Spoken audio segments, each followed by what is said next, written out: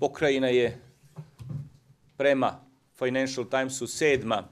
od 148 evropskih regija u strategiji privlačenja stranih investicija. Otkako je naša politička struktura preuzela odgovornost u Srbiji 2001. godine, oko 40% stranih investicija koje su došle u Srbiju našle su se upravo u Vojvodini, a pokrajina ima oko 26% stanovnika i teritorije Srbije. Dakle,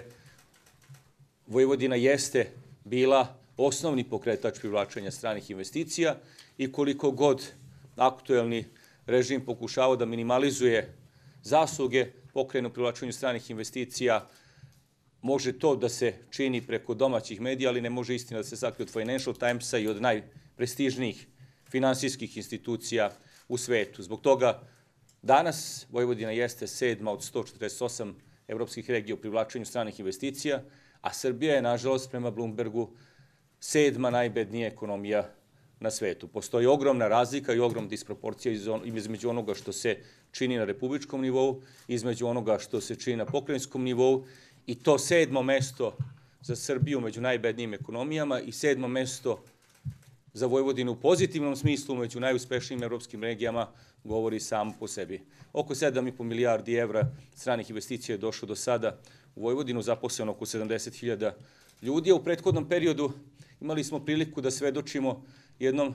veoma nepriličnom trendu gde je gospodin Vučić prisvajao u suštini one investicije koje su dovedene od strane pokrajine, od strane pokrajinskog VIP fonda, čija je direktorica ovde sa nama, gde se dešavalo da najčešće niko od predstavnika pokrajinske vlade čak ne bude ni pozvan na otvaranje fabrike gde je VIP, odnosno pokrajinska vlada, zapravo i dovela investiciju i tu investiciju realizovala. Radi se o fabrikama TIS Automotive, radi se o Svarovskom, Frezeniusu, Grumfosu, Magni, Luvati, Hutchinsonu, Calcedoniji. Sve su to kompanije kojih ne bi bilo da pokrajinska administracija, odnosno VIP fond te investicije nije doveo, da oni nisu edukovani u edukativnom centru, da nisu dobili podršku pokrajine. Priznanje koje smo dobili od Financial Timesa posljedica je činjenice da smo ukrstili čitav niz mera koje su za strane investitore opredeljujući momena da dođu na naše područje. To je izgradnja čitavog niza, odnosno mreže industrijskih parkova i industrijskih zona širom Vojvodine, otvaranje edukativnog centra za prekvalifikaciju zaposlenih, odnosno potencijalno zaposlenih, mere besplatnog zakupa za Brownfield, odnosno finansiranja projektno-tehničke dokumentacije za Greenfield investicije,